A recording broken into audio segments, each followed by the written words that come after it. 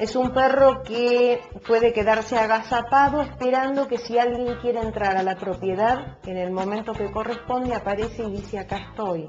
Por algo en Canadá lo utilizan muchísimo para la cacería de osos. Eh, se lo utiliza también para cacería mayor, o sea, jabalíes.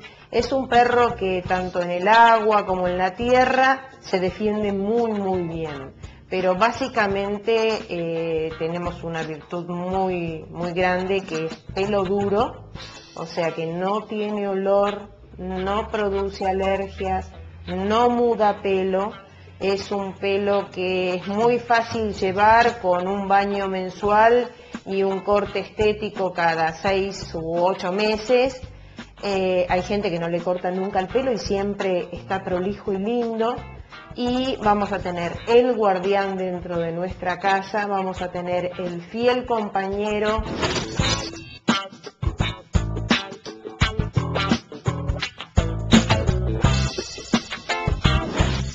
No va a ser bullicioso, si tenemos, por supuesto, un cachorro, como cachorro lo tenemos que educar. No vamos a pretender que sea tan, tan inteligente de no hacer diabluras.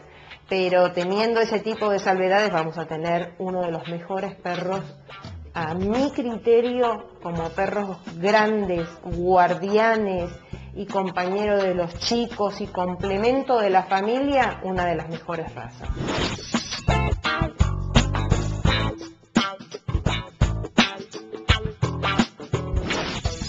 el único problema que podemos llegar a tener es que no se junten dos machos de la raza. Eh, podemos tener 10 hembras juntas, no pasa nada, 10 eh, hembras con machos, no pasa nada, lo único que no se pueden juntar son dos machos.